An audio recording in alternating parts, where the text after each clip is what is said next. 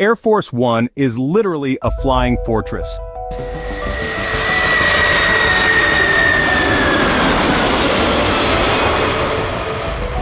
Flies higher than any other aircraft, is as fast as an F-16 fighter jet, and acts as a bunker in case of a nuclear attack. This is the most unshakable aircraft in the world. Welcome to Techbye World, whether it's short distances or long journey, Air Force One is always ready to transport the President of the United States anywhere in the world. Air Force One is a name for any plane the President travels on, but for years, it's been associated with this aircraft, the Boeing 7472-200B.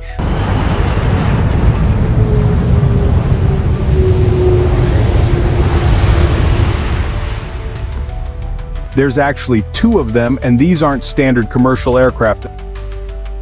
They're custom made by Boeing and upgraded by the US military. The aircraft costs over $26,000 per hour to operate at six, it's six stories high, it's 76 m in length, which is longer than any commercial jet, weighs 378,000 kilos each, and it can fly at a maximum altitude of 45, 1 100 feet. Its Air Force designation is VC-25, and their tail numbers are 280 and 290, interior. The floor plan inside the aircraft is 4,000 square feet of floor space spread across three decks.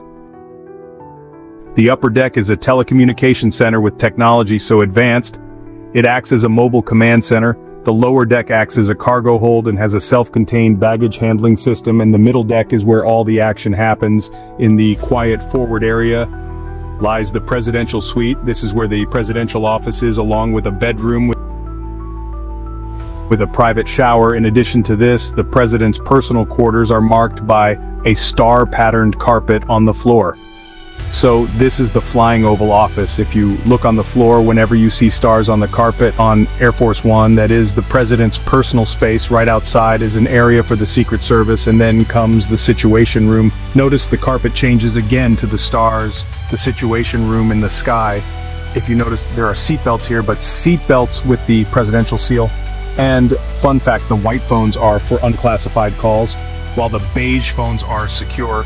Lines up ahead are the quarters for 70 passengers along with work areas, a conference and dining room and two kitchens, but it doesn't stop there. Air Force One always has a doctor on board. There's an operation room filled with the latest medical equipment, an extra supply of the president's blood type and special vaccinations in case of emergency. The Defense Systems Air Force Defense One sits in a super secure hangar at Joint Base Andrews just outside Washington, D.C. The base is secured by a military checkpoint, and it has two additional layers of fencing within its boundaries, but according to the military Air Force, one is safer in the sky than on ground. So what makes it a flying fortress? For starters, it can make a 14,315 kilometers journey in one go, and since it's capable of being refueled in mid-air, Air Force One can stay in flight almost indefinitely. It has a top speed of 965 km/h. In fact, it's so fast that one of the F-16 pilots who escorted it to Washington during 9-11s said he actually had to speed up to catch up with it.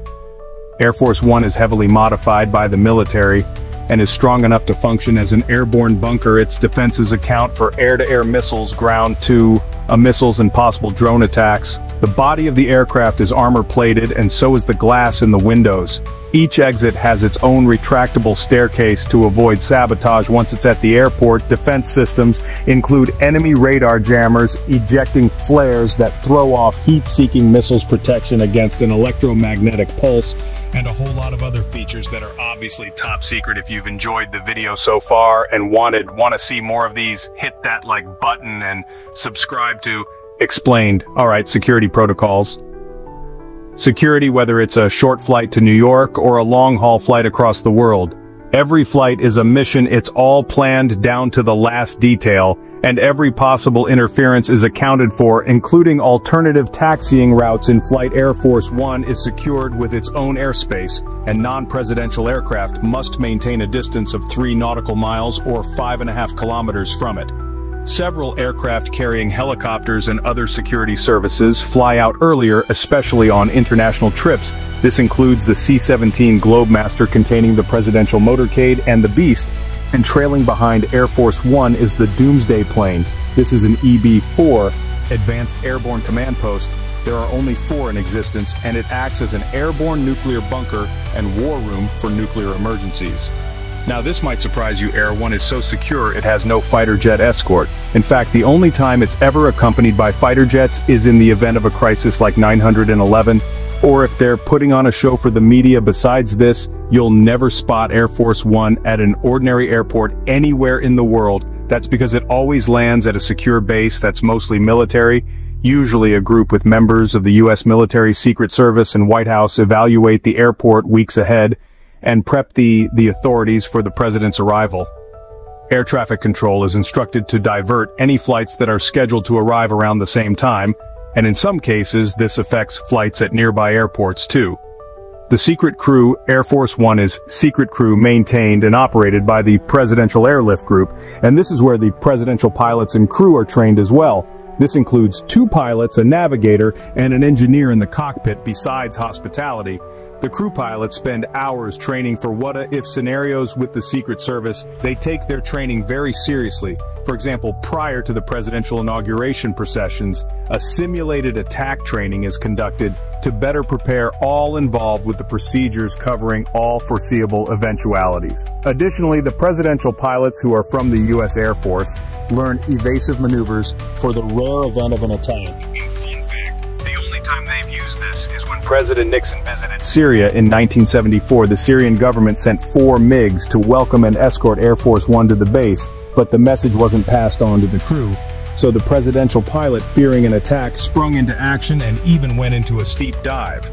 The new Air Force One, the new Air Force, 1747-200B, has served the president since 1990 but that's soon to change in 2018. Boeing received 3.9 billion for two new 747-8 aircraft. They're due for delivery in 2024, but severe delays and CO9 has pushed it to 2026 to 2027. The company says it's being built with state-of-the-art features that are more advanced than the current ones. This includes upgraded military-level avionics, advanced communication systems, and self-defense systems. Any guesses what the other cool luxury and military features are, let us know in the comments. And don't forget to subscribe to Techbye World.